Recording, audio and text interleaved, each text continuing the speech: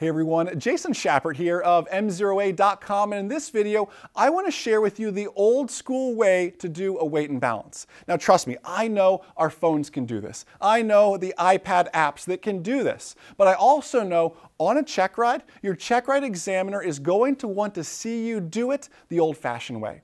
He or she has the ability to put their finger on a number and say, how did you come up with this number? And you have to be able to explain it.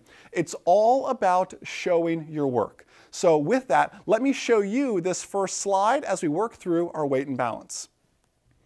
On this slide here, you see the weight and balance form that we're going to use. And if you're an on, current online ground school member of ours, you can access that inside the course in the sidebar underneath checklist. You can find that, it's on page two.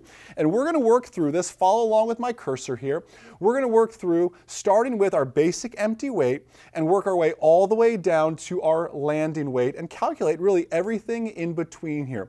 Let's do this calculation now for my 1972 Cessna 172 Lima model. And here's actually a page from the POH of that 172. Now, this is just an example here. Now, this is an actual page. I, I know it's going to be different from airplane to airplane, though. If you're flying a newer airplane, a lot of this work's to be done for you ahead of time. You see, back in 1972, they just gave us the basic numbers. And we have to do a little bit of interpolation. I'll explain why here. Let's look at the screen here though. We have this sample loading problem here. And they give us, you know, the empty weight and the moment. This is in thousands, so this would actually be 51,700 is what this would actually be. And they kind of calculate it all out down from here. Now we need to start with what's called our basic empty weight. And where you get that number from is your actual weight and balance. Remember back to our acronym ARROW of what has to be in the airplane. Airworthiness, registration, owner's manual. The W is what? The W is our weight and balance. And that is the actual weight and balance the mechanic provides to you. You add new avionics. You get the aircraft painted. You're supposed to get a new weight and balance. So it would benefit you greatly next time you're out at the airport to take a picture of it because you can't take it with you. It needs to stay with the airplane. Take a picture of it on your phone so you have that when you're calculating the weight and balance. So I'm going to pre-fill ours in here for you as you can see. We have our weight of 1,364 pounds, our station arm of 37.9. Station arm is really, it's that balance point where everything would balance at our basic empty weight, and the moment of 51,696. We now need to find the weight of our pilot and passenger. Let's say I'm 180 pounds, you're 180 pounds. Let's put 360 in there. We've got that weight. Now we need to figure out the arm. And let me share with you just a real basic formula real quick. Look at your screen with me here. Remember this and write this down. Weight times arm equals moment. You will use this formula time and time again. You'll use it in the inverse as well to, to calculate arm. You'll have to do some division as well. It's kind of like solving for x. But weight times arm equals moment. So in order to get my moment, I need to figure out the arm for my pilot and passenger. So let's look at this now. Inside the POH, we're given these loading arrangements. And if you look, it shows the pilot and the passenger seatings with a station CG arm, exactly what we're looking for, of 37. But it offers an asterisk here. It says pilot or passenger center of gravity on adjustable seats positioned for the average occupant. Remember that our seats adjust forward and backwards based on how tall you are. Look a little bit closer in the graphic. 37 is just the average. It can be as short as 34 and as long as 46 here. So you need to figure out, are you putting your seat in the, generally, the average position? You'd have to calculate average by looking at the seat rails and seeing where is that midpoint on that seat rail.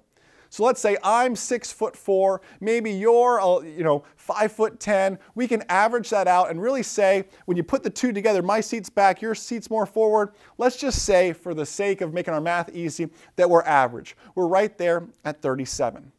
We fill in 37 on our arm, and now we do this formula here.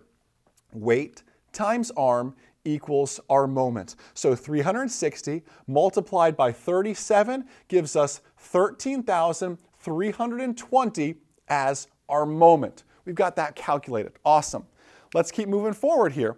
What about the next row, rear passengers? We don't have any rear passengers. It's just a training flight, let's say, so we can put zeros across the board there. What about baggage right here? My flight bag's 10 pounds, your flight bag's 10 pounds, so let's put 20 down like you see there. We have 20 pounds of baggage. Let's go back to our loading arrangements now. And this is a common student pilot error to make. It's so easy to say, okay, this is baggage.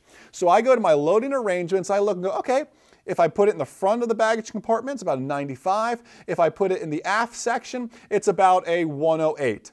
But let me ask you this. When is the last time you actually put your flight bag back in the baggage compartment? Chances are, if you're flying in a 172 or a four-seater aircraft, you're taking your flight bag and you're just putting it on the rear seat. That way you still have access to everything in flight, right? Baggage is really just when I'm traveling somewhere, do I use the baggage compartment? So don't get confused with that. We need to use the rear passenger arm that you see here for our bags because where are we actually putting that 20 pounds? I'm putting it on the rear seat. So 73 is what I'm going to use. Weight times arm equals moment. 20 times 73 gives me 1,460. I now need to do some addition to calculate my zero fuel weight. Look at the chart here with me again. Anytime you see something bold here, we're adding up to that point. Do you follow me? We're adding up to that point. So zero fuel weight Let's do some addition here. We're going to add up our weights all the way down to get our zero fuel weight of 1,744. We're then going to come over here to our moment. Now, I cannot add up an arm. Does that make sense? I can add up my weight, I can add up my moment, but I can, cannot add up my uh, arm over here. So let's add up my moment all the way on down. I get 66,476. I've got my zero fuel weight. How do I get my arm? I need to solve for x. If weight times arm equals my moment, I can divide my moment and my weight to get my arm of 38.12. Now we get to the question of fuel. And the question really is, how much fuel are you going to be flying with? Remember this and write this down in your notes. Avgas, the fuel we fly with, is six pounds per gallon. So let's say I have 20 gallons of fuel on board. I'm going to do the basic math here. 20 gallons multiplied by 6 is 120 pounds. So in my fuel weight over here, I'm going to put 120 pounds. Then I need to find my arm over here, my fuel arm. We do that by going right back to our POH, our Pilot's Operating Handbook, and looking at the loading graph here.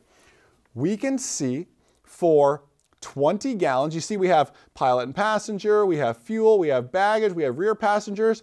I can follow this up to my fuel at six pounds a gallon, go to 20 gallons, and read straight down and what I get actually is a moment in this case, not an arm. We have to solve for the arm. Well, this goes in two, so each, each line counts as one. So we can kind of go all the way to 10. So this really, if I go straight down, roughly is 6,000 uh, you know, pounds and inches here for our moment. So I can put a 6,000 in my moment there, and I have to do the same math. I have to solve for x. I have to do some division to really figure that out. And I come out with my arm of 50 here is what I'm solving for. How many times does my 120 go into 6,000? The answer is 50. So I get my arm there. Now I have my fuel arm. That's going to help me quite a bit. Now, I can add these two up to get my ramp weight. This is another one we do some addition here. I can get my ramp weight by adding up my uh, zero fuel weight with my fuel to get my ramp weight of 1,864. I cannot add up my arms. I then go over to my moment. I add up my moments here to get my ramp moment of 72,476. I then solve for x. I do some division. How many times can 1,864 go into 72,476? 38.88 to get my arm in that case. Now we get down to our start, taxi, and run up. Think about it. Are you going to burn fuel on start, on taxi, and your run up? Absolutely you are. And sometimes you're lucky enough to look in a POH, uh, like in the sample loading problem, and they'll just tell you, hey, for start, taxi, and run up, subtract this much. And they give it to you in our 1972 172 Lima, that's not the case. They don't give us that information. So we have to just kind of do some interpolation in a way. Let's just say we're going to burn, I've got a real long taxi at the Ocala airport. The run-up area is way down at the end. Oftentimes we're number two or three for departure. So let's say, worst case, I'm going to burn two gallons of fuel making that happen. Two gallons times six is 12 pounds. This now is a negative number. I'm taking 12 pounds away. I'm, I'm consuming it. Does that make sense? Now let's go to our arm. Where am I consuming these 12 pounds from? I'm consuming it from the fuel tanks. So I'm going to use our fuel arm of 50.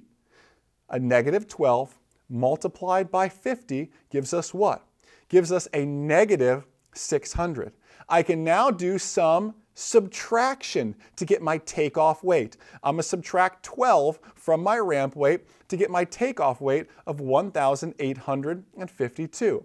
I can't do anything with my arms. I have to do division, remember. And then I come over to my moment. I can subtract 600 to get my takeoff moment. I then do the division to solve for x here and get my arm, my takeoff arm of 38.81. I can now go over to my center of gravity envelope and see if this works. Here we have our information here. I can go ahead and calculate on through. I can say, okay, uh, 1800 up here. I can go up 1852, so about halfway up. I can proceed on across to my moment, which is down here. Proceed on across to 71,000 and right about here and we can put our little star down there so we have that for our takeoff configuration here.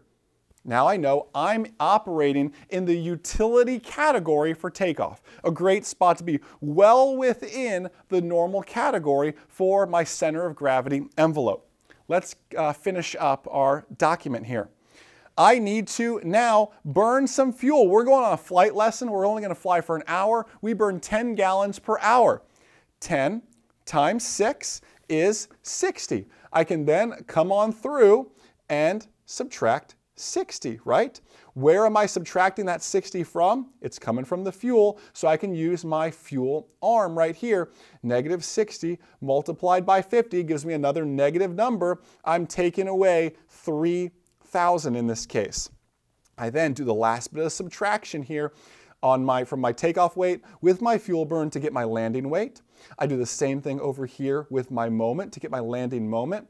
I do the basic division back to solve for x, my arm here, and get 38.44. I come over to my graph I've got my numbers up here. 1,792 is my weight, so barely just right here. Coming across to my moment of 68,000 across, across, somewhere roughly right around here. I go ahead, drop the star, and I get my landing center of gravity, also within the utility category. And most importantly, I'm able to see how that is continuing to shift. How does taking weight away, how does burning fuel affect my center of gravity? How would it affect your center of gravity if you have a stopover and drop off a passenger and his or her bags? What does that do to your center of gravity? These are the types of weight and balance questions you're going to see on more advanced written tests like the commercial. Not so much on private pilot, you'll get the basics like this, but a commercial pilot written, the knowledge test, absolutely you're going to get these types of weight shift related questions. So listen, I hope you guys enjoy this. I know this is a lot, so uh, perhaps uh, take a break, find your basic empty weight, and then work through it yourself and work to solve it. So listen, guys, enjoy the rest of your day, and most importantly, remember, the good pilot is always learning. Have a great day, guys. See ya. Pass your check ride or I'll pay for it. Join our number one rated online ground school and participate in live mock check rides and interactive written test prep. Visit groundschoolacademy.com to learn more.